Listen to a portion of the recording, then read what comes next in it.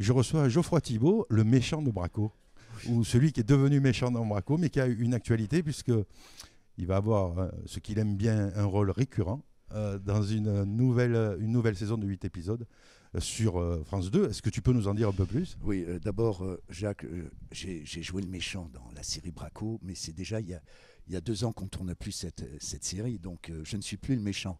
J'essaye de me racheter une bonne conduite. et c'est pour ça que j'ai accepté cette nouvelle série sur France 2 qui s'appelle Astrid et Raphaël interprété par euh, Lola Dever et Sarah Mortensen. Et moi, je joue le, tuteur et le directeur euh, du service de la documentation criminelle. Et je suis un peu euh, celui qui va aider Sarah Mortensen, qui joue une autiste, et je suis son tuteur, donc euh, je vais essayer de, de la prendre dans mon service et elle va découvrir tous les dossiers qui n'ont pas été traités. Mais comme elle est autiste, elle va apprendre tous les dossiers par cœur et on va se tourner vers elle parce que c'est elle seule peut régler toutes les affaires qui n'ont pas été réglées. C'est une, euh, c'est une saison de 8 épisodes, c'est ça? 8 épisodes, absolument. Sur France 2 Sur France 2. À partir de? À partir de, je ne suis pas le programmeur. C'est en tournage. C'est en tournage. On a commencé il y a une semaine. Voilà.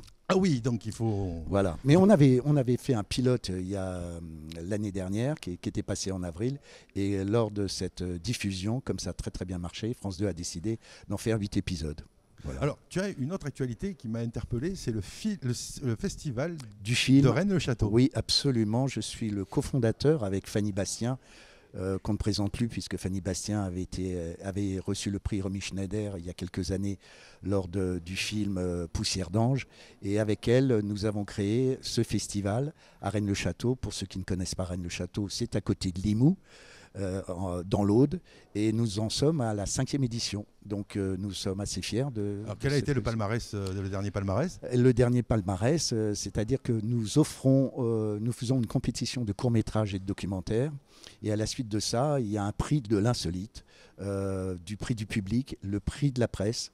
Euh, et euh, ce prix donne droit à 5000 euros donnés par la société Transpalux qui nous aide beaucoup et qui nous appuie dans ce projet. alors ça c'est un très alors festival du film insolite, je crois que oui, c'est ça. absolument. C'est un très joli thème et j'ai vu sur le site qui est très joli d'ailleurs. Merci. Qui a eu des, invités prestigieux. Oui, bah oui. D'abord, euh, notre, notre parrain, c'est Olivier Marchal qui est un ami de surcroît. Donc euh, euh, chaque année, il est, il est, présent. Mais nous avons eu cette année Bernard Lecoq, nous avons eu Roman Boringer, Philippe Rebaud, Smaïn. Bref, chaque année, nos amis, parce que ce sont surtout par amitié qui viennent, veulent revenir l'année suivante. Donc c'est à puis Rennes, le château, il y a un peu de magie quand même. Hein.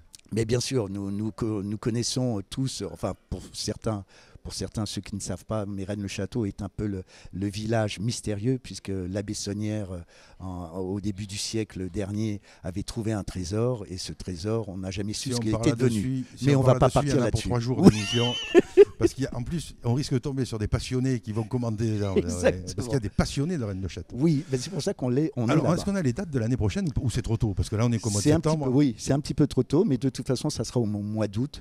Euh, de toute façon, puisque toutes les années, on les a fait au mois d'août, sauf une année, mais ça sera au mois d'août. Mais les dates ne sont pas encore définies, nous le serons très prochainement, de toute façon. Guettez sur le site, qui est d'ailleurs esthétiquement très réussi. Merci beaucoup.